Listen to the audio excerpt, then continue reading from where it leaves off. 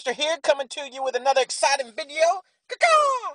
As you can see, I got little um, little things of death hidden all around my map, uh, up in the trees. And forgive me, I can't help but touch these things and get all that uh, great resources there. But today we're beating Hammerman level 35. Uh, we're moving on up. One of the main things that worries me right here is these boom cannons and these uh, flamethrowers because they're pretty hefty and they'll take my fellers out. To start out, I'm gonna take out these mines, boy, because this is a this is a field of death right here for warriors for sure. So I'm taking that out with a barrage.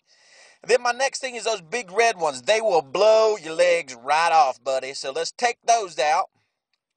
And now I'm gonna just let my warriors go. Run free, warriors! I'm gonna shock both of these flamethrowers and boom cannons, and I'm gonna let them go. Um, they're going to do a good job real quick. Um, my level on them, I think, is level six or seven. I can't remember. But anyway, you just let them go right here. Throw out what little health you got left or whatever health you can muster. And that way, they're just ooga chaka, ooga chaka, ooga, ooga, ooga chaka. Boom, baby.